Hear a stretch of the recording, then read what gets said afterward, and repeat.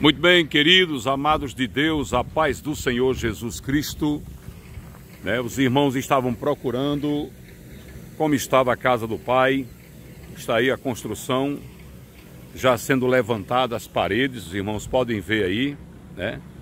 Esse é o complexo onde eles vão habitar. Nós estamos aqui com o pastor José, o ex-padre, está aqui visitando a casa do Pai mais uma vez, é a terceira vez já que ele vem aqui, né?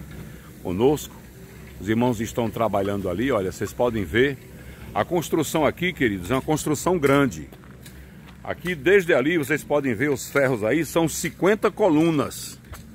50 colunas. Aquela primeira parte ali é onde vai ser a área de serviço. A segunda é onde vai ser a cozinha.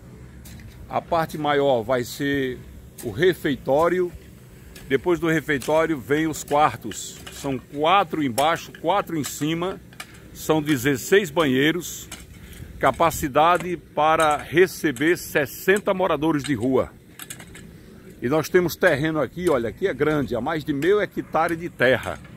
Nós temos terreno aqui para construir mais. Ali por trás daquelas caixas d'água será construída a igreja, uma enorme igreja que vai servir para a casa do Pai e para essa comunidade. Aqui, nesse espaço que eu estou mostrando para vocês, por trás desses tijolos, vai ser construído o galpão da escola de ensino, onde vão ser ministrados cursos, né?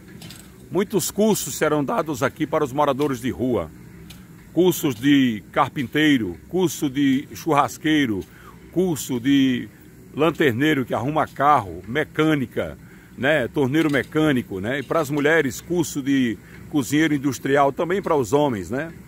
São oito cursos para homem e oito cursos para mulheres, fora outros cursos que podem surgir ainda, que vão preparar eles para voltar ao mercado de trabalho, né? Para eles voltar a trabalhar no mercado de trabalho, né? A obra não para, nós estamos aqui trabalhando, nós dividimos a equipe aqui, porque está a metade aqui, uma metade, a outra metade está lá na cidade de Governador de Serra Rosado, reformando um, um prédio lá para a gente abrir a igreja lá. Eu creio que dentro de 15 ou 20 dias nós vamos estar consagrando aquele templo a Deus. E todo mundo que vem aqui, irmão Zé, fica maravilhado com essa obra. Né? Uma obra grande e com a finalidade maravilhosa que é tirar os moradores da rua, ensinar uma profissão e levá-los de volta para o Pai, levar de volta à sociedade. Nós temos no nosso ministério, irmão Zé, pastores que foram moradores de rua, pastor Marcos Barbosa, pastor Zedek, né? pastor França, foram moradores de rua, usuários de droga, homens que ninguém dava nada por eles, mas Jesus tinha um propósito na vida deles. E nesse lugar, queridos, o dinheiro que você tem mandado para cá, a semente que você tem semeado aqui, o seu dízimo, a sua oferta, está sendo empregado aqui, não é só aqui não. Está sendo empregado no evangelismo de rua, está sendo empregado na alimentação deles na rua. Cada feriado, cada domingo a gente leva o almoço para eles. Nas madrugadas levamos o cuscuz, levamos a linguiça, o café. Estamos alimentando eles. Você está fazendo esta obra junto conosco. Muita gente estava dizendo, pastor, como é que está a casa do pai? Pronto, está aqui, está desse jeito aí. Os pedreiros estão trabalhando, estão levantando. Eu creio que em duas semanas, se Deus quiser, em duas semanas, no máximo 15 dias, nós vamos estar fazendo lajeada, a laje de fora a fora, para levantar o primeiro andar aqui. Como vocês veem, é uma obra que precisa da sua ajuda. É uma obra que precisa do seu dízimo, da sua oferta de amor, que precisa que você, ao ser tocado pelo Espírito Santo, você mande para nós o seu dízimo. Não importa de que igreja você seja, você tem o um amparo na Bíblia, em 1 Coríntios capítulo 16, para você mandar o seu dízimo para onde você quiser.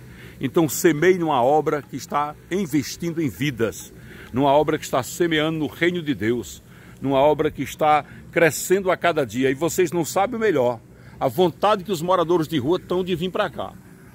Isso é que é bonito, irmão Zé. É verdade. Eles pedindo, pastor, que dia fica pronto? Pastor, eu quero ir para lá. Pastor, estou cansado de sofrer. Pastor, eu sei. E esse, essa relação, o irmão Zé tem acompanhado a gente aí, na distribuição de alimentos na rua. Ele tem visto o amor que eles têm pela obra, os moradores de rua. Pastor, domingo a experiência, né? Nós chegamos lá na rua, a minha esposa, o senhor viu, se emocionou. Foi. Porque ela disse que jamais imaginava que ainda tinha igreja que cuidava dos pobres com a, a pão da vida cuida. Então, é verdade. Glória, então, glória você, a Deus. o mundo aí que nos assista nas redes sociais, contribua com amor, com carinho, que você saiba que o seu dinheiro está sendo investido e, e aonde realmente é para ser investido. Né? O pastor aqui é um homem de Deus que investe em favor das almas. E isso Glória é, a é poucos, eu não conheço um pastor que tem o amor às almas como o pastor Chico Chaga, né? Então esse Glória dia a Deus. aqui tem sido uma aprendizagem muito grande né, para mim. A minha esposa esteve aqui, dia falando, está acompanhando agora os trabalhos. Isso, olha, eu fico encantado, eu me vejo naquela obra. E outra coisa, uma maravilha que o pastor José estava me contando, ele tinha uma causa na justiça que estava adormecida lá. E ele veio aqui, mas a esposa dele fez um propósito com a casa do pai. Os dois disseram, se essa causa na justiça sair, nós vamos dizimar na casa do pai. E ela ficou surpresa que assim que ela chegou em casa, o advogado ligou dizendo que a audiência já estava marcada. 16 de, de, de maio próximo. Para 16 de maio. É. é o que eu digo a vocês, façam votos com a casa do pai. Faça o que você recebe. Deus tem compromisso com essa obra. Essa obra não é obra do coração do homem, não. Essa obra é obra do coração de Deus. É Deus que fez a gente fazer isso aqui.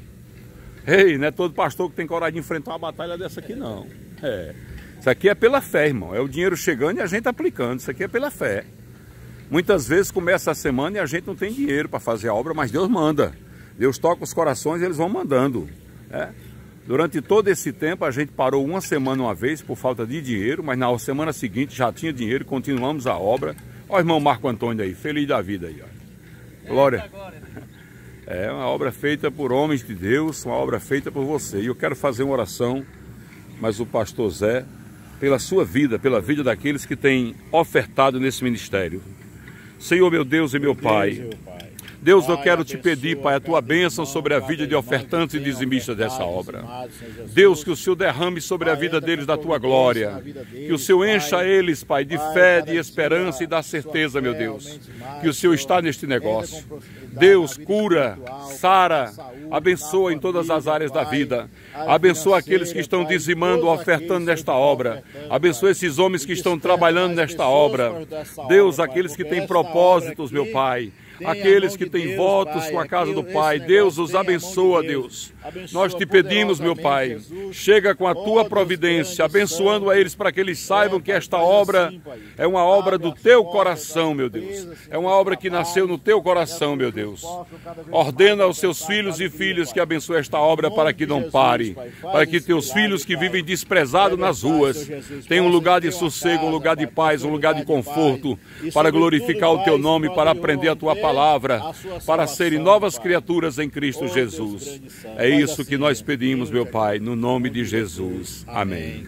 Queridos, fiquem na paz. Deus abençoe a vocês poderosamente, no nome de Jesus. Amém. Glórias ao nome santo do Senhor.